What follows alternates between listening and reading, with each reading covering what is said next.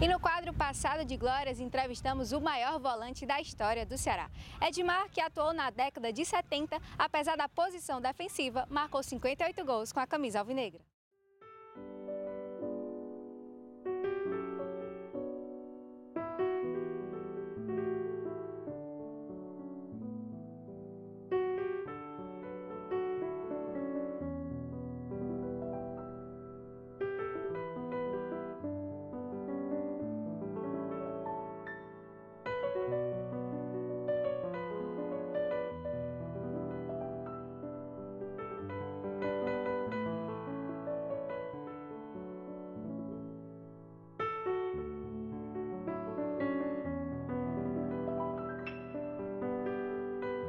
Eu cheguei do Ceará em 71. Meu primeiro contrato foi em janeiro de 71. Eu tinha feito uma boa campanha pelo, pelo ferroviário. E nessa época eu estava no Maranhão, uma excursão com, com o ferroviário, quando eu soube da minha compra pelo Ceará. Fiquei muito satisfeito porque jogar Ceará, qualquer jogador do Brasil quer, quer jogar no Ceará.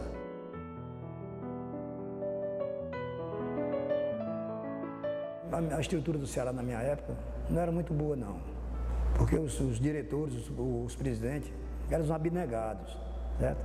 Os caras que colocaram, colocavam dinheiro do seu bolso. Eu queria estar jogando era hoje, com a gestão do, do jogador, do, dos diretores de hoje, do presidente de hoje, porque mudou muito. O Ceará hoje é um. Hoje você está no. O jogador está no céu. Na minha época não, na minha época era um. Era os, os diretores eram mais batalhadores, eram mais abnegados pela, pelo clube, né?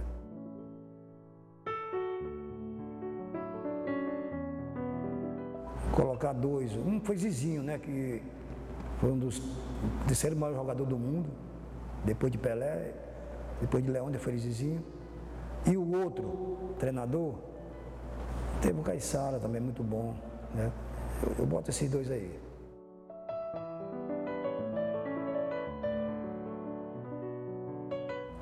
Não querendo desmerecer os demais, mas o melhor foi o Eulino Oliveira. Né? Eulino Oliveira foi um dos maiores, presidentes do Ceará.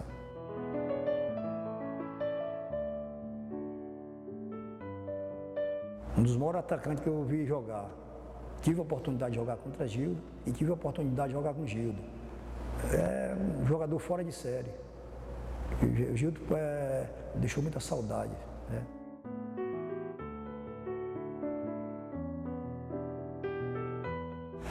Ivoniz, eu trabalhei no Ivoniz, no ferroviário, quando eu estava iniciando. Eu ainda era amador ainda, mas com Ivoniz eu era titular. Tive a oportunidade de ser campeão invicto em 68 e 70 com o Alexandre Nepomuceno. O Ivoniz foi um cara que, era, além de ser um baita de um supervisor, ele foi um, foi um, foi um operário, um operário, um cara que se dedicava, se dedicava ao Ceará. Ele passava o dia aqui. Né?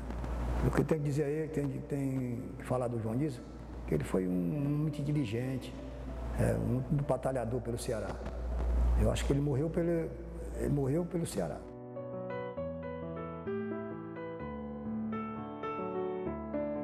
Não, Franzé Moraes não tem, eu só tenho que falar de, de bem dele.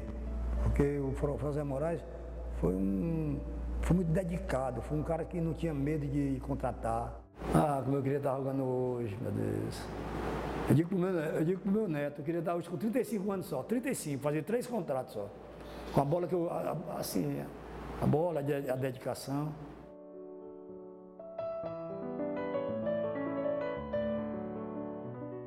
Para mim, o melhor grupo foi de 72. Aquela campanha que nós fizemos, ganhamos do Santos, ganhamos do Fluminense, ganhamos do Internacional. Hélio Show, Paulo Tavares, Nagel, Odélio Carlindo, Edmar, Samuel e Joãozinho, Jorge Costa, Erandi da Costa.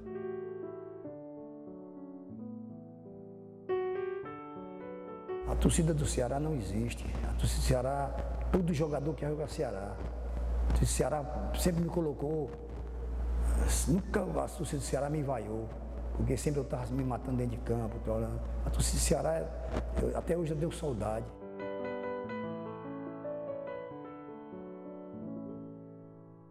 Eu fui campeão sete vezes pelo Ceará, mas para mim o mais importante foi o de 75, porque nós perdemos 73, 74 com um time melhor do que o Fortaleza. E ganhamos de 75 com um time mais fraco. Ganhamos na raça, na, na, na vontade, na determinação. Né? É o, é, o, é, o, é o campeonato mais importante para mim, foi o 75.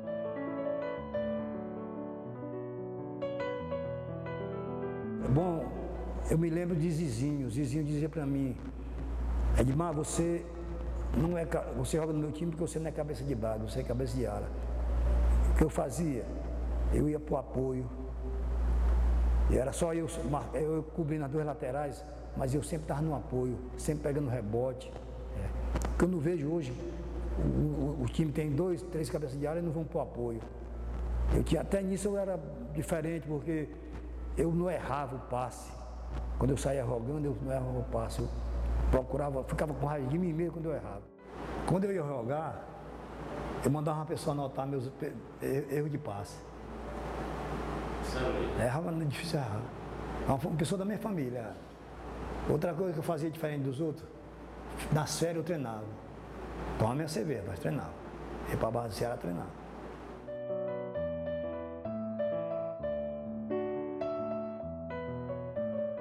Teve muitos bons jogadores que eu, me deu trabalho, mas tinha um que eu até ficou na história, Teco Teco.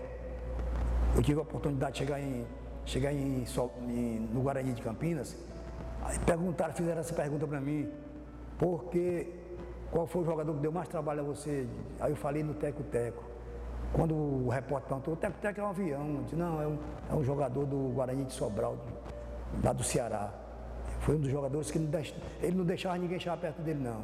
Era dois toques na bola.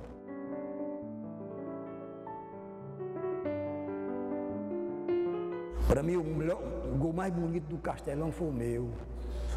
Em 74, Ceará e Santa Cruz de Recife. Santa Cruz jogando pelo empate. Nosso treinador era Zezinho e o treinador do, do Santa Cruz era Caiçara. Eu recebi, a, eu tomei a bola do Luciano Veloso no meu campo, chutei, ela pegou na trave, passou por todo mundo e no segundo chute eu fiz o gol. Aí eu estava tava, tava em Campina Grande, no 13 de Campina Grande, treinando. Quando eu terminou o treino, tinha um rapaz me esperando. Rapaz, Edmar, eu estava naquele jogo, eu nunca vi um gol daquele. Você chutar duas vezes e conseguir fazer o gol.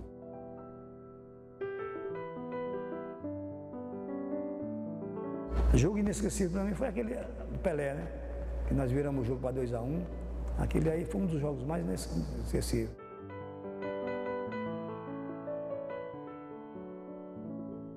Esse jogo de 71, eu joguei machucado. Eu, eu, tô, a atuação no tornozelo, não, podia, não tinha jogador que jogasse daquele jeito. Eu joguei, nós fomos campeão aos 45 minutos do segundo tempo. A falta, o Zé Paulo fez a falta no Vitor. O Vitor cobrou. Se ela bate na trave e volta, quem fazia era eu. Nós, meus colegas já estavam dando por. Já estavam dando, deixando por. Eh, Arthur Magela, na época, estava no, no, momento do jogo, tudo chorando. Para não, não baixar a cabeça, não, nós vamos chegar lá. E graças a Deus nós chegamos, ganhamos o título.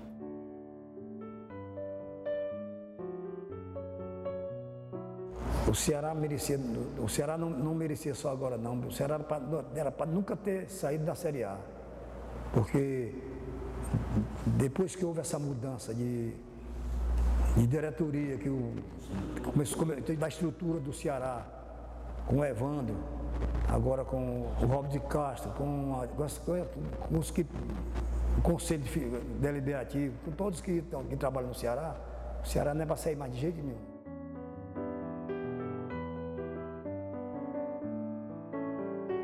Eu, eu, eu, sinto tanta saudade quando eu estou em casa, que eu talvez estou sozinho, que estou assistindo o jogo, ou, ou escuto a, a Verdes Mari, ou Assunção, eu, eu saio, eu saio, eu saio, não fico só, só, só, só escuto quando, tô, quando tem alguma pessoa lá em casa.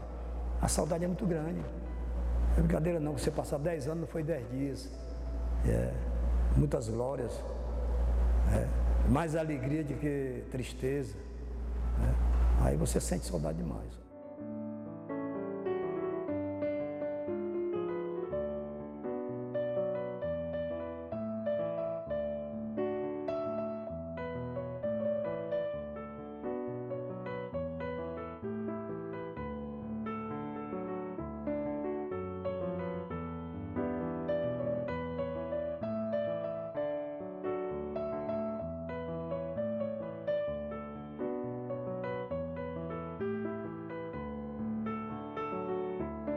Agradecer a Deus por estar vivo.